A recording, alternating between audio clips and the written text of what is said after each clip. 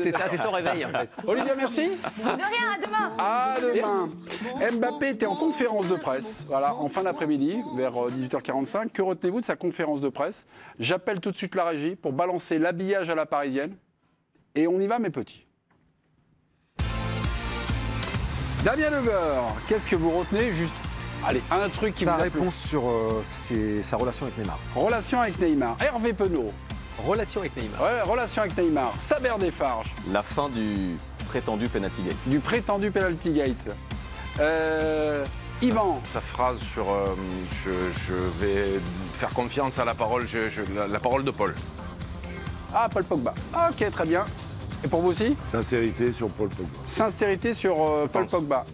Euh, mes petits, relation avec Neymar, c'est une question de notre envoyé spécial, en plus Bertrand Latour. Écoutez ce que nous répond euh, Kylian Mbappé.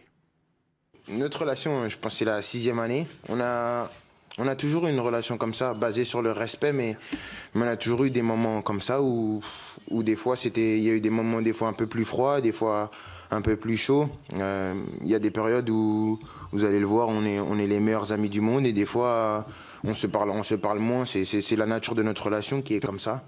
Mais mais il y a beaucoup de respect. En tout cas, moi, j'ai beaucoup de respect pour le, joueur qu'il est, le joueur qu'il représente et l'importance qu'il a, qu'il a dans notre équipe. Après, quand tu as deux joueurs au caractère fort comme ça, euh, la vie, elle n'est pas linéaire. C'est sûr que des fois, il y y y y a des choses qui se passent, mais toujours, ça reste toujours dans le respect et, et dans l'intérêt du Paris Saint-Germain.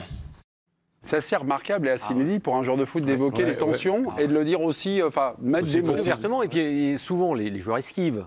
Hein, on trouve toujours un petit peu des pirouettes pour tomber sur ses pattes. C'est la presse, monsieur. Ouais, d'une certaine manière. Tandis que là, pas du tout. Il est très honnête. Hum. Parce qu'il y a une forme d'honnêteté qui est assez incroyable. C'est-à-dire qu'il admet, et fait- on a des moments froids, on a des moments chauds, et on n'est pas les, en gros, on n'est pas les meilleurs amis du monde. Bien sûr. C'est un peu mon objectif commun, c'est de faire gagner le Paris Saint-Germain. Et puis il l'admet sans aucun problème. Par exemple, et ce qui est bien, c'est qu'il a élimine il a esquivé sur les pénalties. Sur les pénalties, je trouve qu'il esquive un peu. Un peu plus, ouais. Ah. Mais là, là, il esquive pas. Il est très honnête, très transparent sur euh, ce qu'est sa relation. avec- Ah, Attendez, problèmes, il y a un petit point parce que c'était votre question, Damien Degore. Euh, demain, donc imagine, bah, je vais pas reposer la question parce que je crois qu'au montage on l'a gardé. Ouais. Écoutez-vous. Bonjour Kylian, Damien Degore, l'équipe. Neymar a tiré les, les deux derniers pénalties du PSG. Si demain il y en a un pour Paris, qui va le tirer? On verra. On verra. Il y aura une, il y aura une, il y a toujours une discussion.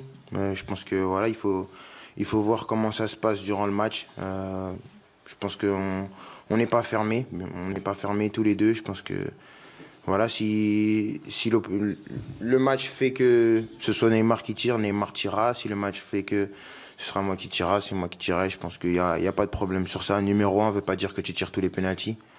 Euh, je pense que ça existe dans aucun club, encore moins quand tu joues euh, avec trois joueurs comme ça. Euh, voilà, il faut, il faut savoir euh, partager le gâteau et, et sentir. C'est une question de, de sensation et, et savoir aussi mettre de l'eau dans son vin. Donc euh, on, verra, on verra demain, mais il n'y a pas de problème avec ça. C'est ce que vous, vous avez retenu, Saber. Desfarges, ouais. Et, et- et là, euh, lorsque vous avez retenu, encore fallait-il qu'il y ait une affaire du penalty gate. Et Damien dit, ouais, il n'a pas été. Donc, je vous laisse, je vous laisse vous expliquer, Damien et Saber. Saber, tout d'abord, vous avez la main. Pour moi, elle est réglée, cette affaire-là, et Kylian Mbappé a tout simplement expliqué la raison pour euh, laquelle elle s'est terminée, et très rapidement, pour le bien évidemment du vestiaire, pour le bien également de, de l'équipe. On a pu l'observer il n'y a pas si longtemps que ça, dans euh, une rencontre qui s'est déroulée au Parc des Princes, euh, Paris Saint-Germain-Monaco. Kylian Mbappé est évidemment le tireur numéro un, mais il a laissé le ballon à Neymar. Preuve, encore une fois, qu'il est donc possible de partager le gâteau, pour reprendre son, expé- son- son expression. Donc non, pour moi, le problème est complètement réglé. Il a fait preuve d'intelligence en répondant ainsi. Alors, pour, Pour moi, Damien, j'ai l'impression que c'est pas si limpide, c'est J'ai pas, pas dit si qu'il n'avait pas fait preuve d'intelligence. Ça, Ah j'ai trouvé plutôt très intelligent Ah dans oui. sa réponse. Ah oui. Et très intelligent dans son esquive. Pas si sincère. Mais j'ai Qu'est-ce du mal que vous- parce que parce que quand on répond que le tireur numéro un n'est pas celui qui tire tous les pénaltys, Obligatoirement. bah, ouais. ça sert à rien de désigner un tireur numéro un. Un tireur numéro un, c'est celui qui tire les pénaltys normalement. Bon, euh, sauf si admettons que la faute est c'est- commise sur lui, mais euh, je, je je suis pas convaincu, à la différence de Saber, que ce problème soit si bien réglé que ça. On le, contexte du match, il est important, encore une fois. euh, Ouais, mais on verra quand sur un contexte un peu il y a un tendu. tireur numéro un. J'attends de voir. Ça, c'est vrai, c'est Kylian Mbappé. Sauf que Est-ce qu'il est si, réglé par point de exemple, Kylian Mbappé a marqué un, un doublé ou il a déjà inscrit un penalty juste avant, lui peut faire preuve d'intelligence, peut penser aussi à son camarade et lui donner le ballon. Et ça, on l'a déjà vu non seulement cette saison, mais aussi la saison précédente. Et qui peut faire l'arbitrage à ce moment-là du match? C'est ça la difficulté, c'est en plein match Bah, de faire l'arbitrage. je La pense que faute, est Christophe sur, Galtier souvent on dit quand la faute est sur le joueur, c'est pas au joueur de tirer parce que la faute est sur lui. Et des fois, la faute elle est sur toi et t'as envie de tirer. Enfin, le joueur a envie de tirer aussi. Il- c'est Saber pas prend l'exemple. Hein. encore une fois. Oui, non, mais tu as Match, pris l'exemple de Monaco. Un bon exemple, que, que, à l'issue de ce match, euh, Christophe Galtier explique que les deux joueurs euh, sont parlés. J'ai revu le match. Hmm. Je les ai pas vus se parler. Alors je sais pas, hein, peut-être il y a le langage des signes, il y a des trucs qui étaient... T'avais mis le son? Bah non, mais j'ai vu les images, mais euh, ou alors ils se sont parlé très fort. Il faut, faut vraiment parler fort. Il y avait du bruit. mais je sais pas. Je, je, je suis pas. En tout cas, du point de vue de Neymar, je suis pas convaincu que l'histoire soit réglée. Un petit mot du côté de Bertrand Latour. Vous, euh, sur cet épisode-là du penalty gate, la réponse de Kylian Mbappé, elle vous a, euh, oui, elle vous a ravi, elle vous a convaincu? Je l'ai trouvé un peu plus flou que, la réponse à la question précédente et que, que dit Damien Degorne n'y voit pas une attaque personnelle, bien évidemment. Ouais, Ah Au moment où il attaque Damien, c'est comme ça, un coup de poignard. Ah, il y a un sabotage. ouais, Bien fait. Bah, ça, Bon, c'est- on va retrouver Bertrand un peu Quand plus il s'apprête à dire des conneries, Ah on ouais. coupe. Et ça, ça devrait être systématique cette saison. On va pas l'entendre Et on souvent. l'entendrait pas beaucoup dans l'émission. Hervé, on vient de vous couper. Euh, Gervais Martel et Yvan Lemay avaient choisi un extrait sur une relance de Dominique Sévrac à propos de l'affaire Pogba, où évidemment Kylian Mbappé est indirectement impliqué. Écoutez, regardez. Est-ce que la- ce qu'on appelle l'affaire Pogba, où votre nom est apparu en périphérie, peut euh, altérer euh, vos relations avec lui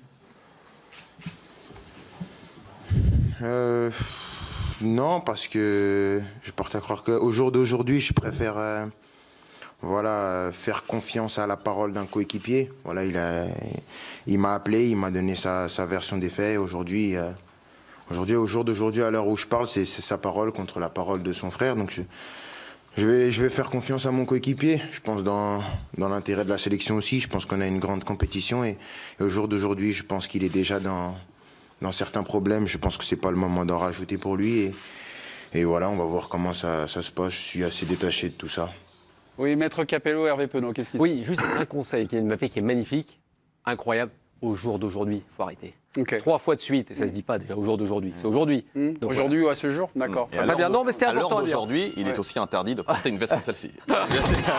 Ah, manque de goût. Ah, c'est clair, je ne pensais pas qu'il manquait de goût. Excusez-moi, il y a la seconde d'aujourd'hui, c'est, euh, il- on va donner leur parole à Gervais Martel à Yvan Lemay. Vous avez voulu retenir euh, ça. Euh, le président vous donne la gonfle, mon cher Yvan. Vous êtes servi par votre président. Non, parce qu'il y, a- il y a un moment où, euh, quand ça prend cette dimension-là, il reste la communication entre les deux personnes concernées. Et, ça- et il a dit, c'est pas lui qui a appelé Paul, c'est Paul qui l'a appelé. Parce que je pense que voyant cette histoire euh, grandir, la meilleure des choses à faire, c'était de l'appeler. Après, il a dit ce qu'il avait à lui dire ou pas. Il a dit ce qu'il a voulu dire ou ce qu'il pouvait dire. Mais en tout cas, il a fait la démarche d'appeler et d'expliquer euh, la situation comme elle était et de, de faire un petit peu marche arrière en disant j'ai pas fait ça. Et je pense que ça l'a quand même euh, aidé ou, Et vous, ou Yvan, c'est, soulagé c'est pas ça. tellement si- ce qu'il dit, c'est le fait que les gars se téléphonent directement. Oui, le- Hein ben oui, l'appel entre les deux joueurs, ça règle les problèmes. Quand il y a un vrai problème et que tout le monde en parle, Mm. on, on règle les problèmes euh, tête à tête, comme on dit, et face à face. Alors là, c'est par téléphone, mais, mais je pense que c'était la meilleure idée à faire, la meilleure chose à faire. Moi, Gervais, trouve- c'est rare de, de s'appeler qu'on a un différent dans le foot? Ça fait longtemps. Non, mais- Non, non, mais ce que je voulais dire simplement, c'est que je trouve qu'il a été extrêmement pertinent, euh, malin, et c'est une réponse euh, que je trouve exceptionnelle dans le contexte. Hein, parce que euh, effectivement, il, euh, il dit en fait, moi je suis, je, suis- je suis déjà passé à autre chose, mais j'ai eu Paul, et, et ça fait partie. Bon, c'est comme ça, quoi. Donc, voilà. Je ne sais pas si c'est vrai, mais bon. mais la réponse, elle est, exceptionnelle. c'est ça qui est intéressant. Il dit pas, Ouais. je suis, euh, ce que m'a dit Paul Pogba est sûr, Ouais, mais je crois plus facilement mon coéquipier Voilà. qu'un frère. On ne sait pas vraiment s'il croit qui y croit. Bon, c'est ça surtout, dans le fond du Il problème. a assez d'ennuis comme ça, mais il Ouais. finit comme ça. Donc. Hervé, au jour d'aujourd'hui, je crois qu'on va lancer la pub. Non, au jour d'aujourd'hui, on peut y aller. ah, Kylian, au jour d'aujourd'hui. Quelques minutes, euh, une pause, mais euh, l'événement de la soirée, c'est France-Japon, huitième de finale de la Coupe du Monde. On se branche, Ljubljana, Slovénie, regardez le théâtre des opérations. Il y a du monde. Pour l'instant, on est loin du jouet à guichet fermé. Comme ça, une information. Allez, à tout de suite. Il y a plus de monde sur le parquet.